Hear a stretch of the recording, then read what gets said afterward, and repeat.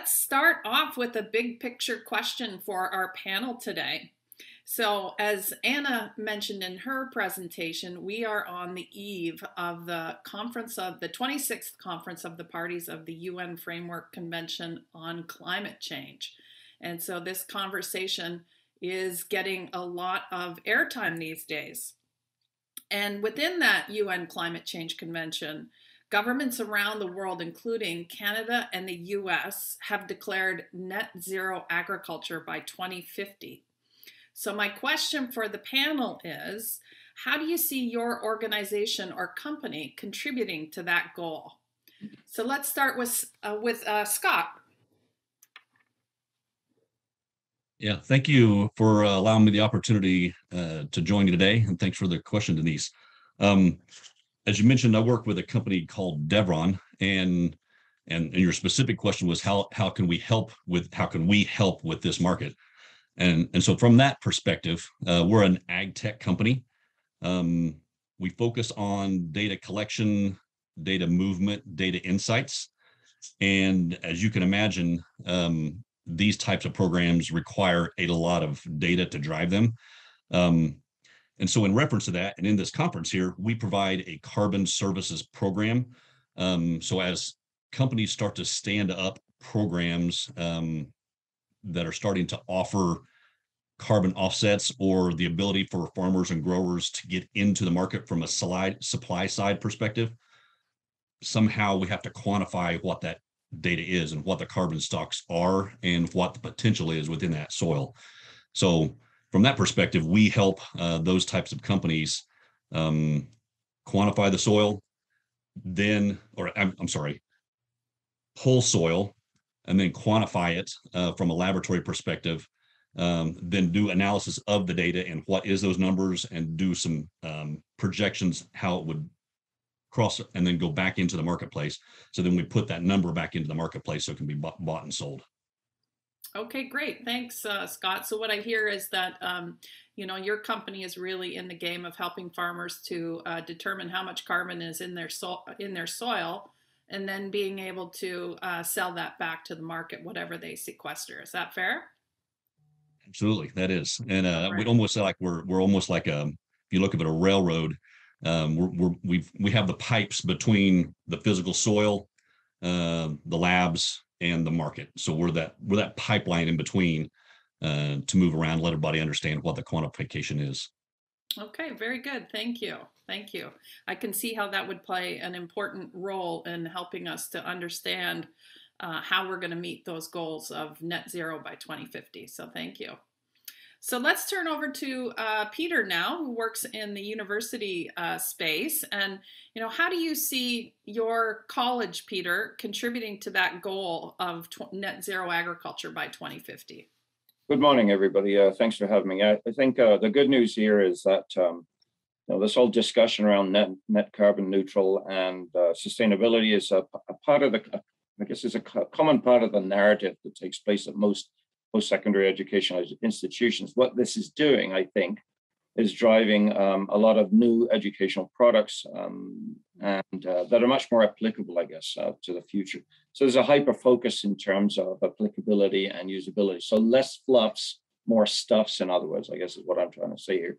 So some of these products that, that are being developed across the landscape, across the educational landscape, include things like uh, work, work integrated learning, where people are finding meaningful partnerships with, I guess, quality partners to get real time, real needs met um, that are really uh, applied as well. So work integrated learning would be one of these things. I, I guess another um, application that's come to bear um, quite recently is this whole notion of micro credentials. So these are dense, highly focused affordable, convenient online products that are meant to give people the knowledge that they need in order to be more informed going into the future. And of course, there's a lot around uh, sustainability in this too. So again, these are for people who are looking at entering into the trade, or um, I guess ostensibly also for people who are already in the trade as well. So again, it's it's about convenience.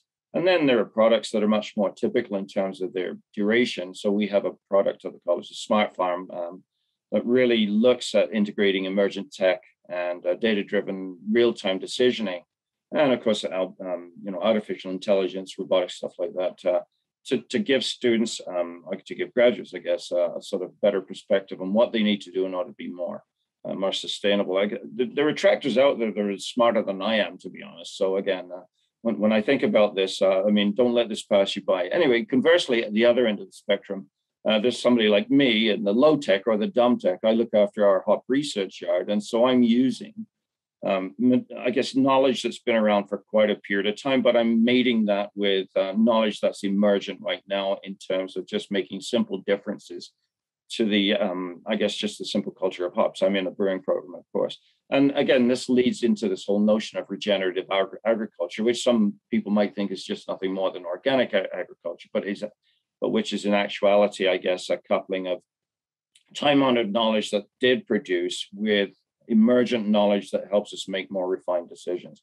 And then lastly, I may as well talk about the uh, this whole notion of, um, I guess, end user applied uh, research. I'm involved with a couple of research projects. Uh, the one that may seem the most bonkers is the whole notion of carbon capture in breweries. So, so you know, breweries typically um, allow fermentative uh, byproducts to emerge. Carbon dioxide is one of these things. They allow it to uh, sort of uh, gas off into the environment, and then they pay somebody else to sort of consume natural gas to produce carbon dioxide that they then artificially integrate into the beer. So there's a there's a, a something that's inherently wrong there. And then the other thing I would say that's uh, allowing us to sort of uh, I guess push the push the process forward would be this whole business of developing standards that seem to be lacking across the industry. So again, uh, anyway, I hope that's uh, somewhat useful.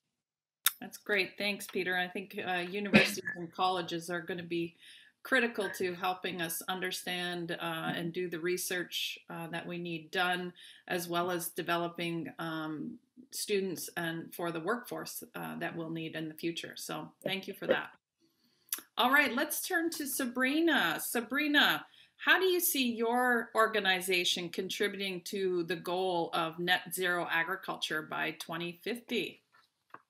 Yes, good morning. Thank you for having me as well. Um, I think, you know, this is a, a, I love hearing what everyone has to say. And um, I was really appreciating what Anastasia had to say earlier because a lot of um, what really comes into play is education. And so for my company, and what I'm doing is we're creating this tool um, so that people feel like they have some agency um, and some access to these carbon markets, meaning um, from the measurement side of things. And I think what it really comes down to is the people. Uh, a lot of the work that we're all doing um, really hinges on uh, buy-in and um, the people that are going to use this agriculture technology. A lot of these people are already, you know, um, practicing regenerative agriculture. So for us, for me at my company, um, we're really looking at democratizing the technology, and a lot of the work has to go into helping people understand uh, what's even happening, why they should be involved, what's out there. And so I really feel like that we have the technology. Um, we have a lot of people here talking about great things, um, but a large piece of it is how do we get the people on board that are going to be the users? Um, we have the consumers out there as anastasia um, mentioned but getting these farmers these growers these small producers in particular. And from our perspective a lot of people that often get left behind black brown indigenous immigrant folks um, all the underserved people in rural communities um, we really have to make sure they're part of this because they are making um, a lot of the, the changes on their land that they should have um, benefits from as well. Great, thanks, Sabrina. I really hear, you know, the opportunity to make sure we're inclusive as we uh, as we go forward here. There's, uh, you know, going to be a lot of trade-offs made, and uh, you know, I think at the global scale, those who are unfortunately already suffering the most uh, have the there's the potential to have the greatest impact of climate change and so we really need to be thinking about how we can be inclusive and ensure access to technologies uh, for all so thank you for that uh, Antony, let's go to you now. Um, share with us how you see your company contributing to the goal of meeting our net zero agriculture by 2050. Thanks very much. Cheers, cheers, Denise. Thanks for uh, inviting us onto the panel today. And it's also been it's great to be part of this panel as well. Actually, there's a few things I wanted to actually highlight, which everyone has just kind of said, which kind of relates to what I'm about to say. But look, as Sabrina was saying, it's an education problem. Um, it's a climate change is a consumption problem. So we've got this. We think, why couldn't we just create food, which we could eat, which reverses climate change? You know, wouldn't that be great? We can continue consuming, we can eat our way out of climate change. And we think that's very, very possible, certainly in certain crops. Um, we're specifically look starting this out in apples and top fruit. Uh, the apple, the humble apple, is probably one of the most uh, carbon friendly uh, crops you can produce. Um, so that's where we are positioned starting. So we have we have been um, the last two years uh, with some of the one of the largest growers in UK um, have helped them transition to be carbon negative essentially. Um, so what we do is we give them software to help them to quantify their, should we say, their climate positivity. Now, climate positivity is not just carbon; it's things like improving biodiversity, uh, improving organic matter into the soil, so improving the water availability, and then the net result of all some of this uh, uh, is more soil organic carbon. Um, so we are actually working with people like uh, Deveron uh, specifically, um, who help us. We pay, you know, we we've been in their services to come and independently quantify those carbon levels, um, and then we work with the grower to help them implement these practices. But we've developed a mechanism um, which we built on, on the blockchain um, using smart contracts to connect to corporates or to conscious consumers those who want to reward the growers for this this this practice.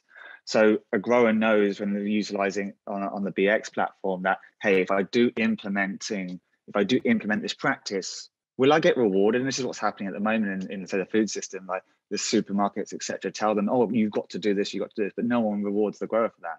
There's, as you as we, as Anna mentioned earlier on, there's lots of corporates are wanting to back this and support this. So we're trying to create this digital um, this seamless payment system essentially for growers uh, is trusted. That's the beauty of essentially using smart contracts in the blockchain, where the grower knows if he plants that cover crop or they reduce that damaging input, they're going to get rewarded for that for that activity.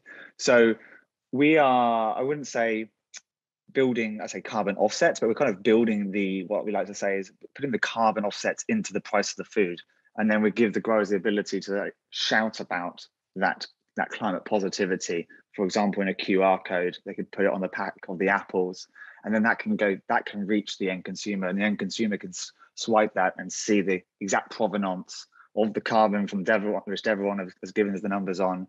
They can see what activities were done.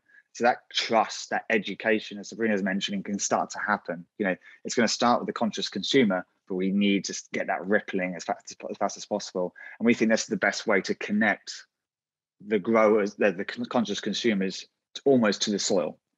Uh, and there's there's technologies already out there today which we're essentially bringing into this marketplace to to enable this.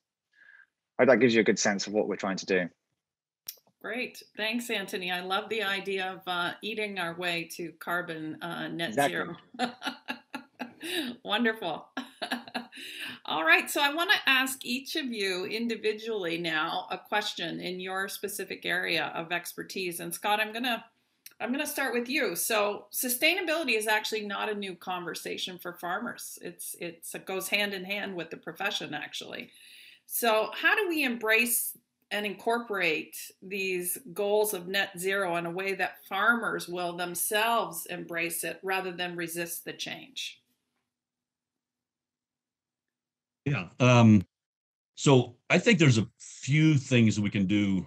Uh, what I'd say to increase the adoption of that.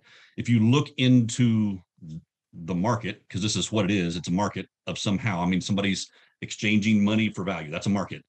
If you look into it, uh, we've all hit on it that there is demand, and we have we have quantifiable, you know, sources that there is more demand than there is supply. That means more people are looking to use agriculture to offset their carbon footprint or their or greenhouse gases or whatever. And and they're look more people are looking at agriculture uh, than are currently selling. So that means there's a there's a mismatch between the market.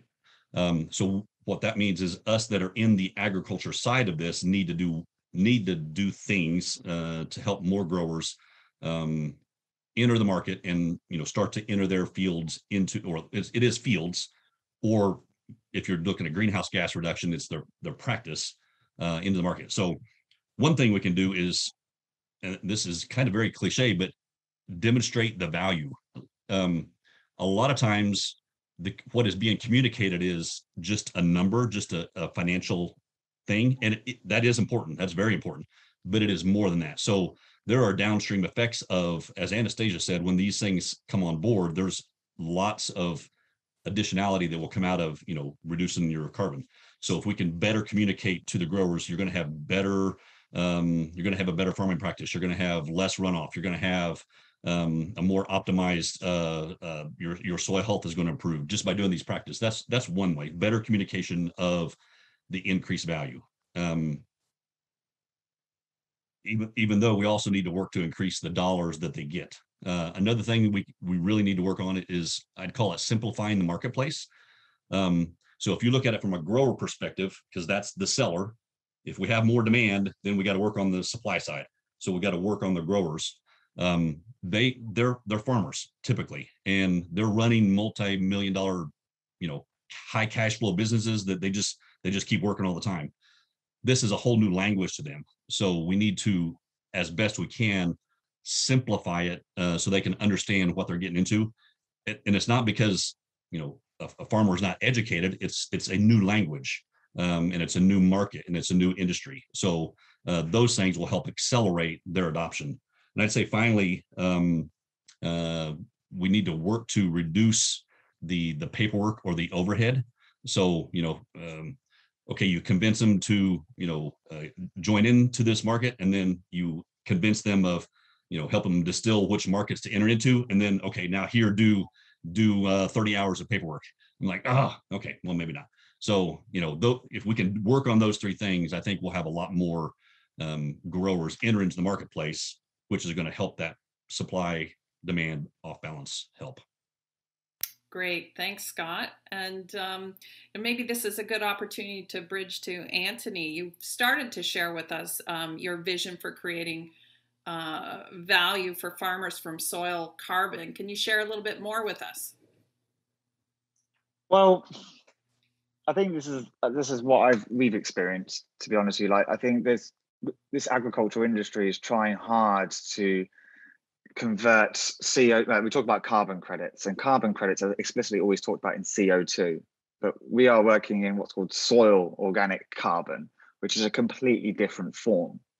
And in, in, in my eyes, and I'm sure some people on this on this panel as well, is like that's much better than CO2, and it delivers multiple multiple benefits. It's not 50 dollar a ton, which you know we referenced the ETS market, it's probably 400, 500 pound a ton. Let's be clear, the, the ecosystem services that soil organic carbon provides, you know, it provides nutrients, you know, it provides life, you know, it's it, it provides uh, uh, water, um, flood protection. Um, there's so much that it provides, which I, I think Scott was saying that we need to articulate the value of those ecosystem services.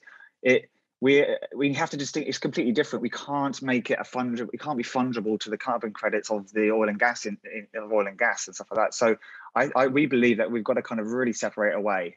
And so yeah, that's why we, we just want to talk about soil organic carbon, and it's completely different, and it's complete. It's it's, it's a much better. Uh, um, uh, carbon, if you want to call it a carbon credit or a carbon value. Um, we want to, our belief and vision is to make soil, soil carbon the most valuable asset in the world. You know that's it should be like you know if you're talking about gold you know we, we talk about it in our strategy sessions. Okay how do we get soil organic carbon worth more than gold? How are we going to articulate that? And you know and i think that's that's what we're trying to do by the data collection that we will do all these activities and all the benefits it provides um, that's how we can kind of make, that argument. But I, I, fundamentally believe we've got to basically put that value into the price of the food the, and, I, and i don't mean passing that on to the end consumer because there's there's plenty of opportunity in that supply chain to that to be passed to the grower. Um, and you know, I we're already seeing policy certainly here in the UK and in, in the in the EU is talking about a tax on carbon emitting products, so maybe beef and you know, um, high high levels, but then subsidizing those you know tax breaks for those who are carbon tax, uh, less intensive. So that instantly then you know you're that isn't more expensive foods. That fear of food prices increasing is just not true. And don't and let, let me just talk also about the specification of the supermarkets, right? Everyone has a worry about shifting to the regenerative agriculture. There's a fall in yield. Yield in the eyes of the supermarkets. Okay, not just lesson, but it's generally that. Like that's where a lot of this waste comes from. But if it's a climate positive apple or pear or whatever it may be, then actually that stuff that wasn't picked before can now be picked because it can the end consumer accepts that one because it's it's a climate positive. It's like wonky or wonky veg if you've probably got it there in the US um, unshapely fruits, that kind of now is reaching the consumer.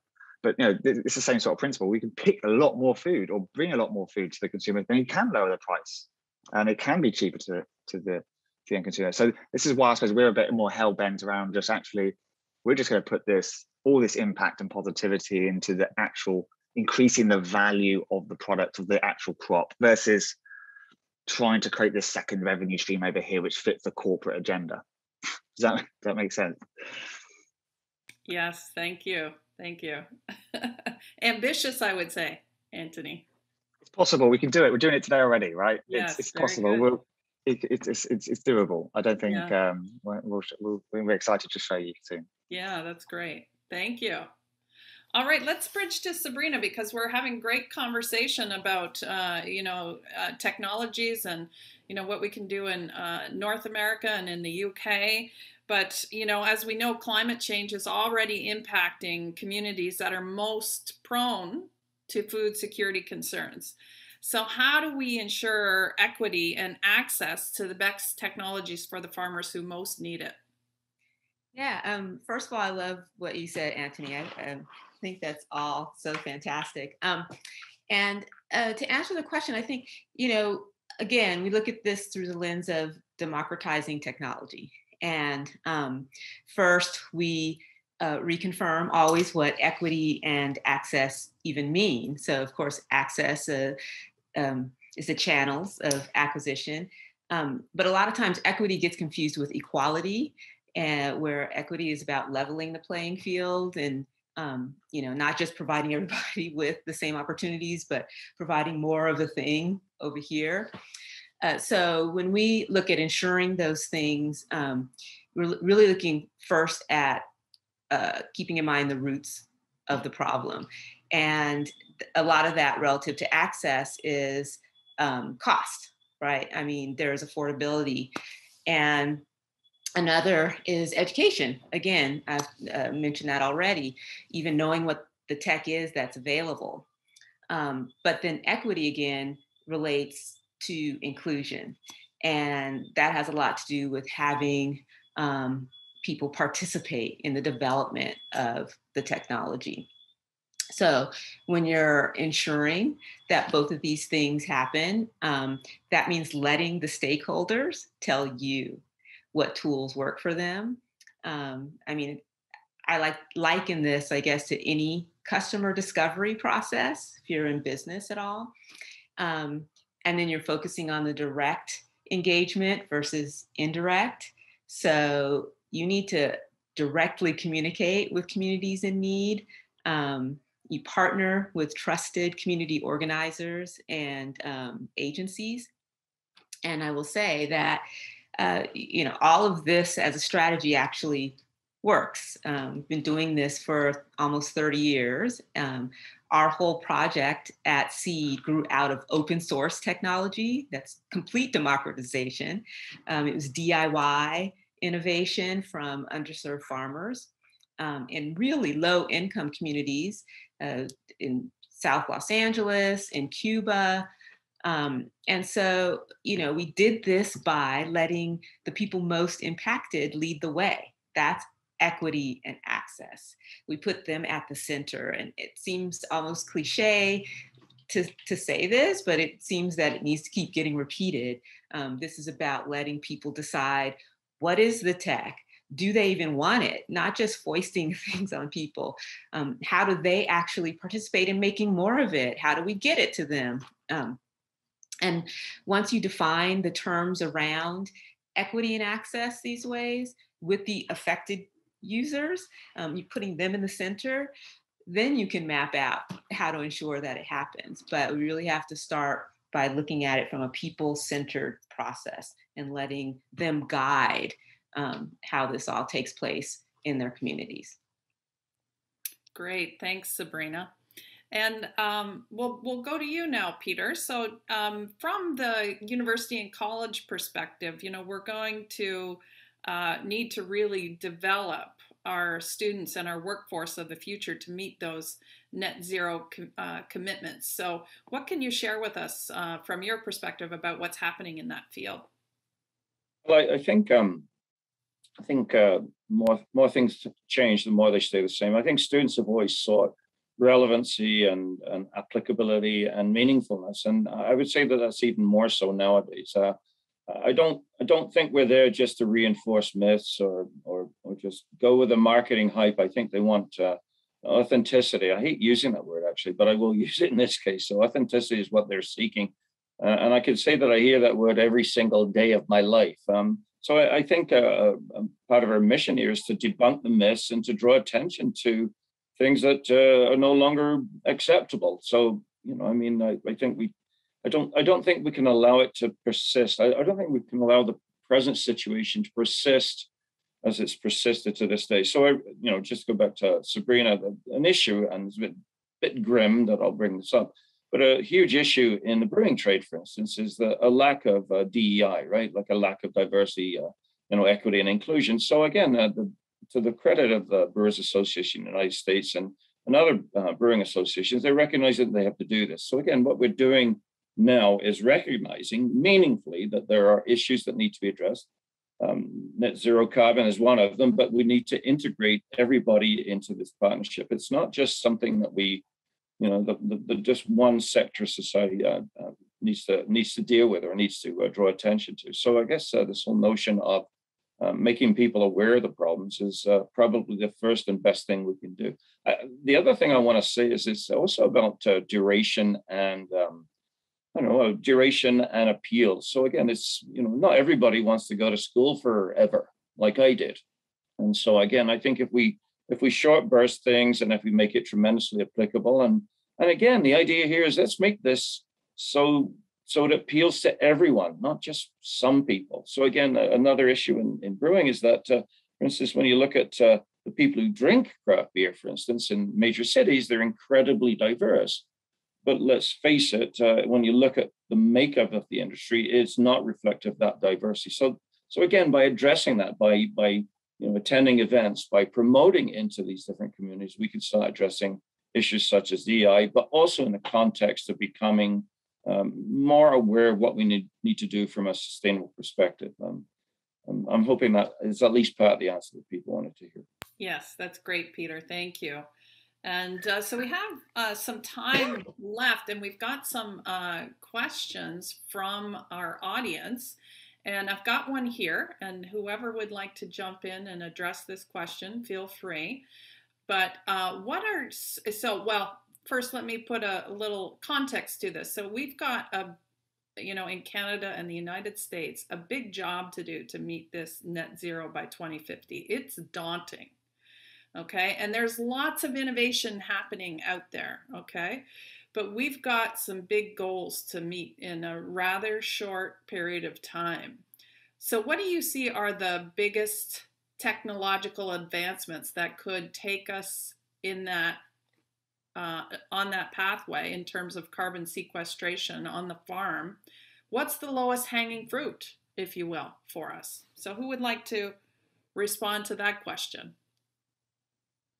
I'll pipe up uh, just initially and say that it's about education, really. I mean, uh, without education, none of it's none of it's applicable. None of it's um, you're not able to incorporate it. So people people have to have this, I don't want to say shunted into their faces every single day of their lives, but the thing is, we all need to be that much more aware. And that only comes by virtue of education. Great. Thanks, Peter. Anyone else like to take a, a shot at that? Antony, I can see you took yourself off mute. Let's go to you.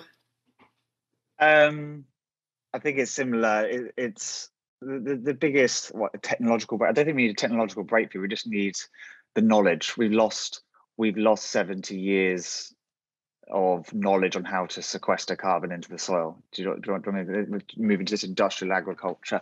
Has that's what's happened. We've all um, conventional agriculture has de-skilled the industry to be to not to no offense to kind of farmers or anything out there, but it's been kind of monocrop, keep it one thing, and all that knowledge to kind of manage the whole ecosystem has, has been lost. So we need to go back to kind of it's a bit like again Scott what Scott does really well is to help capture more data. You can capture that soil data, but then you need to capture what all the events have happened through the year, through that time, and what practices to understand how do you put more carbon into the soil. And every field is different, and every there is no one formula, and it's a biological breathing thing and so it's going to constantly change its capability to to sequester carbon. And we just got to learn that. We've got the technologies. We've got ai we've got we've just got to actually have the problem is it is actually i'm a big believer it's a people problem in this industry. So we've got to bring the talent into they need to stop we need to stop people from moving adverts around a screen right? Some of the best talent in, our, in the world is moving adverts around a screen and getting us addicted to to to the companies that we know right let's take that that talent needs to get out there and come into agriculture and apply that knowledge and let's get people addicted to climate change right? And putting carbon back into the ground. Wouldn't that be cool right?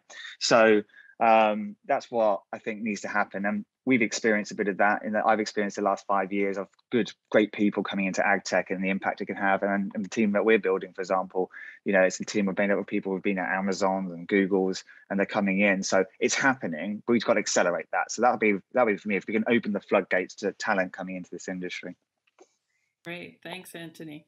Sabrina. Yeah, just uh, piggybacking on that, I think, you know, the talent is out there in the people that I've been working with. I mean, this is all about people uh, uh, recognizing where the value is, right? And so when you talk about 70 years, um, what we've lost in 70 years, a lot of communities haven't lost that out of necessity because they don't have access to um, a lot of the you know even cost of fertilizers when you know that was something that was uh, you know being pushed on them or whatever so i think that the the knowledge is out there it again is centering who is doing the yeoman's work out there, going out and finding out what that um, that knowledge base is, and, and, people that are stewarding the soil and have been um, because they haven't had any choice but to do it that way.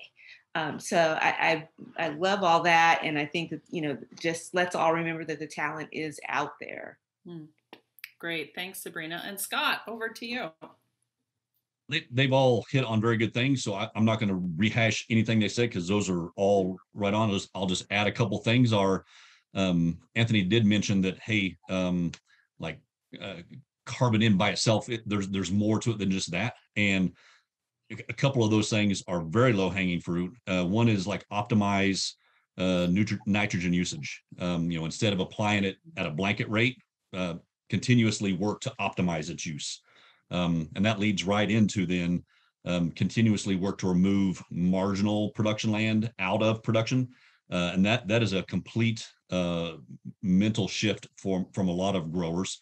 Um, most growers farm all of their land, rightfully so. But as you can get more data and understand which land is marginal, you might be applying um, uh, chemicals or fertility or nitrogen or you know seed or and driving combines and tractor over land that the value of food that's coming out of it is actually lower than the cost to get there so as we can work to remove those two things those are very low hanging fruit that'll greatly accelerate that I mean, if you can just imagine 10% land is marginal right there's a bunch of numbers right there Yes, very good. Thanks, Scott. And uh, you know, certainly, I, I, think at least in, in here in Canada, the government has identified some some key areas uh, that would make a, a big difference uh, for reducing our, our carbon and sequestering uh, our carbon in Canada. So uh, that's great. We have in the U.S. and Canada, we're lucky to have these large tracts of land where we can, you know, have soil be a real sink for carbon.